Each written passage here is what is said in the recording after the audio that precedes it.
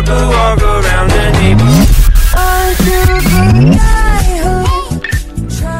Hey guys! Welcome back sa channel natin. Nagbabalik na naman ako. Sobrang excited ako na nagbalik ako. Ngayon, magkakaroon tayo ng another recipe. Nakita nyo naman siguro kung anong gagawin natin. Ang gagawin natin is ang Dalgona Coffee Jelly.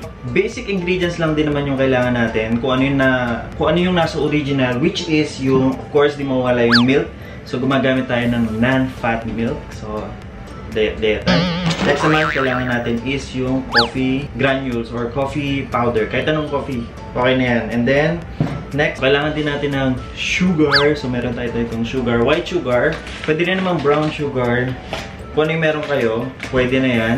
And, hindi mawawala yung ating ice. Yun yung basic ingredients sa Dalgona coffee. Pero since gagawin natin ng twist, gagawin natin siyang coffee jelly, kailangan natin ng two additional na ingredient which is yung Nestle All-Purpose Cream and then yung ating Mr. Gulaman. So yung first step natin is kailangan natin lutuin yung ating coffee jelly mismo. So gagamit tayo ng Mr. Gulaman, coffee, and then yung ating sugar. Yan. So itong tatlo, gagamitin na natin siya. Ang ibig sabihin ng dalgona is whipped coffee. So yung dalgona coffee is whipped at So yung dalgona coffee is a whipped coffee kasi yung process niya is i-whip mo nga naman yung coffee. So, tinawag siyang whipped coffee. So, yun. So, ang gagawin natin is, wala akong ano. So, ang gagawin natin ngayon is, yung ating kasirola. Lalagyan natin ng 6 cups ng water. Yan, may 6 cups na siya ng water. Tapos, ilalagay natin itong Mr. Gulaman.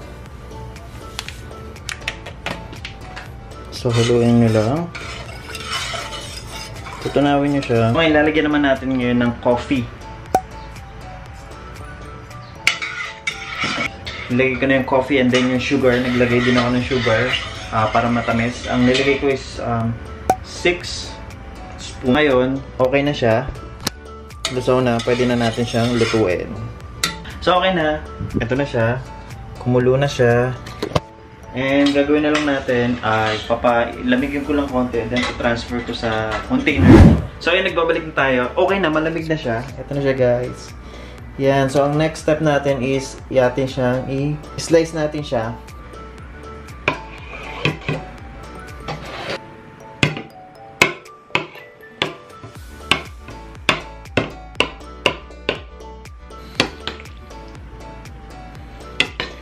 So, okay na yung ating coffee jelly. So, ngayon, next step natin is yung uh, paggawa na mismo ng dalgona. So, ito medyo nakakapagod to kasi kailangan mo siyang i-whisk. Kung meron kayong hand mixer, mas madali. Kung meron kayong blender, actually tinry ko sa blender, okay din siya, mabilis. Kaya lang nasasayang yung ano yung dumidikit sa mga gilid-gilid, hindi nakukuha. So, ngayon ang gagawin natin is manual. Maglalagay tayo ng 2 tablespoon ng coffee. Okay.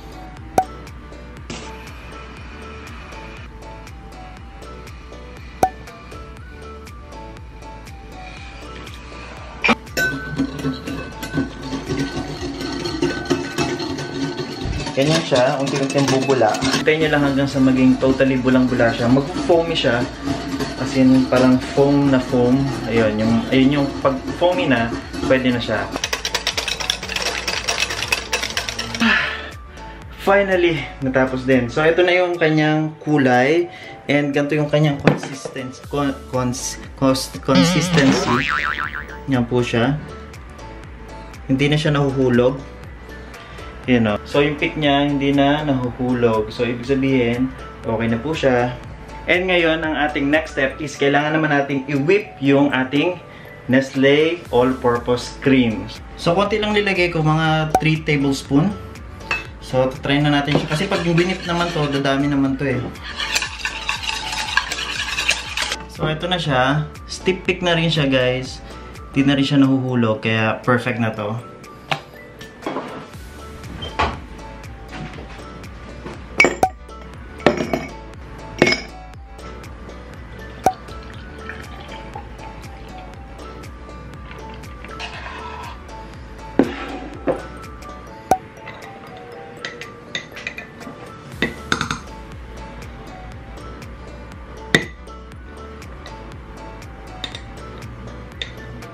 Tapos, Maglalagay tayo nito. Actually, dapat nauna to eh. Naghugas naman ako ng kamay kaya okay lang.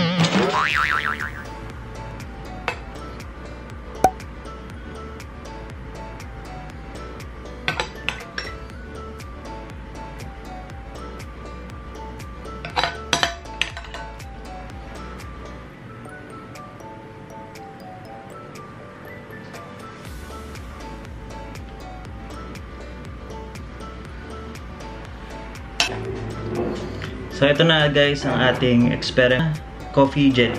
Yan po siya.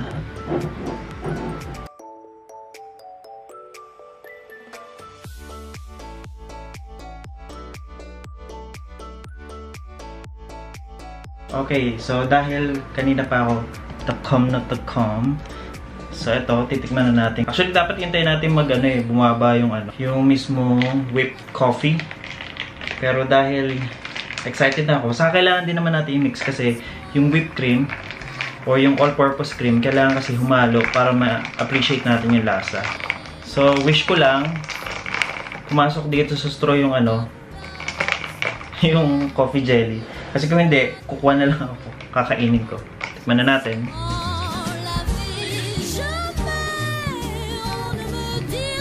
Mmm. Mmm. Mmm, sarap. Mmm. Guys, sarap. Actually, good thing, pumapasok yung coffee jelly. Totoo lang. Swear, promise. Masarap talaga siya. Sobrang sarap. Mmm. Sakto lang din yung tamis na ano. Ng coffee jelly. Ang dami po. Naka-enhance community quarantine tayo kahit naman dito sa Dubai. So, might as well na maggalgo na tayo. Nagtatry pa ako ng ibang flavors na pwedeng experiment sa kanya. Um, feeling ko, may nakita na ako may Milo, yung mga yon Pero ito-try ko naman na gumawa din ng Toblerone, ng Cadbury kasi alam niyo naman, mura lang dito yung mga ganong chocolates. So, tatry kong experiment. Feeling ko kaya siya. Kayang-kaya. Thank you sa panonood guys. Kita-kita ulit tayo. This week, mag-upload ulit ako ng new vlogs. Hopefully, about Galgona or other uh, vlog pa. Pero yon sobrang na-enjoy ko to. Try nyo rin po guys. Ilalagay ko naman sa description box below yung mga ginamit kong ingredients and measurements. Okay? Bye guys! like I should.